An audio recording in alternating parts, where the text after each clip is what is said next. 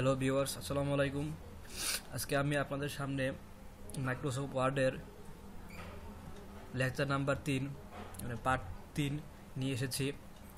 আজকে আমি নতুন কিছু টপিক নিয়ে আলোচনা করতে চাই। সেটা হচ্ছে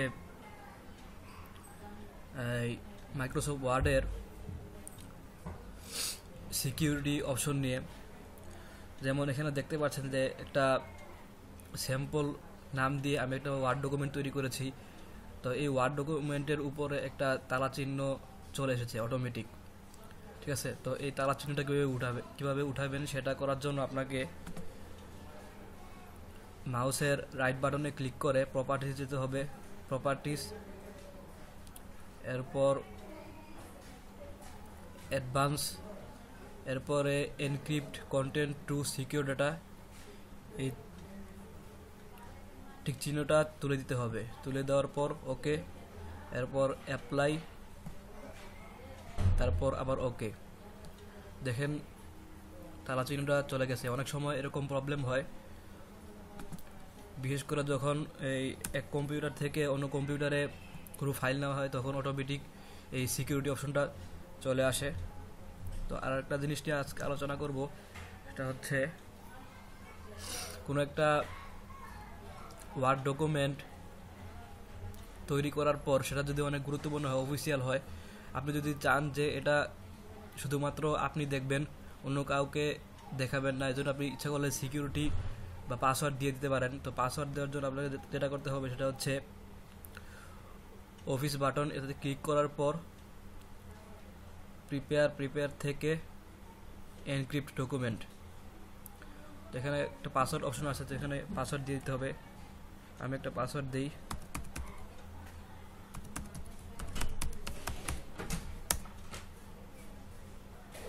দুইবার পাসওয়ার্ডটা দিতে হবে।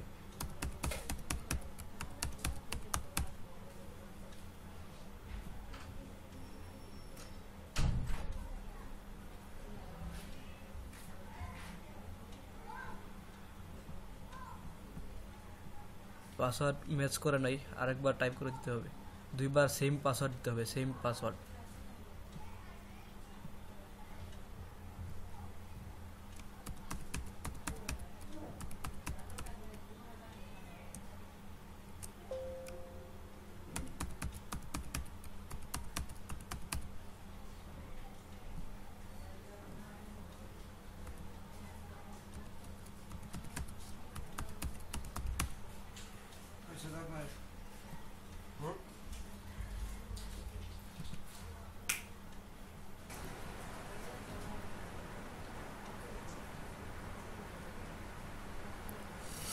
এরপর আমরা যদি ফাইল ক্লোজ করে দিই তা ক্লোজ করতে গেলে এখানে দেখাবে do you want to save the changes to sample এখানে ইয়েস দিতে হবে।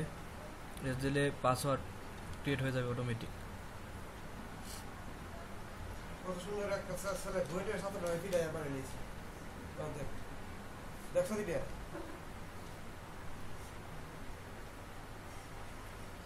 এরপর আমরা যদি ফাইলটা যদি ওপেন করতে যাই তখন সিকিউরিটি লক চাবে। লক দিয়ে দিতে হবে লক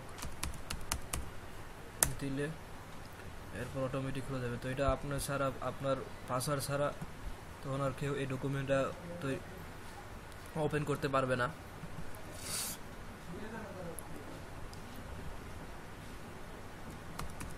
নিরাপত্তা জায়গার মধ্যে এরপর আজকে আরেকটা জিনিস দেখাবো, সেটা হচ্ছে পেজ লেআউটের সাইজ আর মার্জিন এটা আগেও দেখে আইছি এরপরও আরেকটু ক্লিয়ার করতে চাই জিনিসটা, সেটা হচ্ছে সাইজ মূলত আমরা সবচেয়ে ছোটো যেটা, এটা হচ্ছে লেটার আর সচরাচর সবচেয়ে বেশি যেটা ইউজ হয় এ ফোর আর লিগাল হচ্ছে সবচেয়ে বড়টা। আর আপনারা যদি কন্টেন্ট অনেক বড় হয়, তাহলে মার্জিন